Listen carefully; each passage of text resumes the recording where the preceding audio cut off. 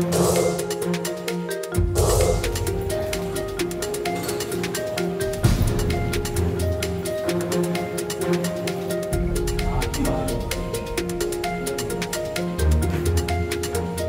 -hmm. you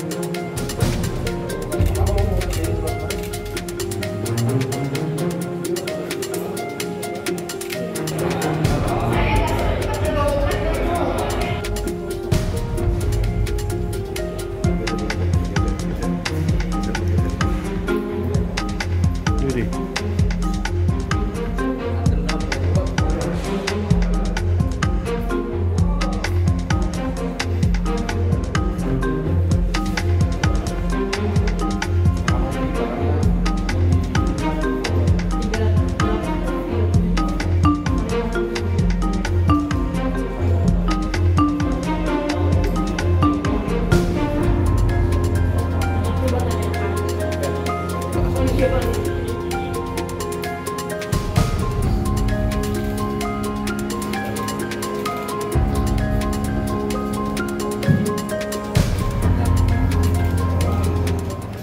Berdasarkan laporan masyarakat tersebut, kemudian Satreskrim Polres Metro Jakarta Barat melakukan olah TKP di tempat kejadian perkara, melakukan penyelidikan, mengambil keterangan saksi-saksi, kemudian berusaha mengembangkan sehingga berhasil menangkap pelakunya di dua tempat, yaitu di daerah Lampung dan di daerah Bekasi Jawa Barat.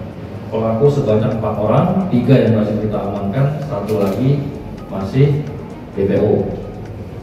Kita kenakan pasal 363 terhadap pelaku dengan ancaman hukuman ancaman hukuman 9 tahun penjara maksimal.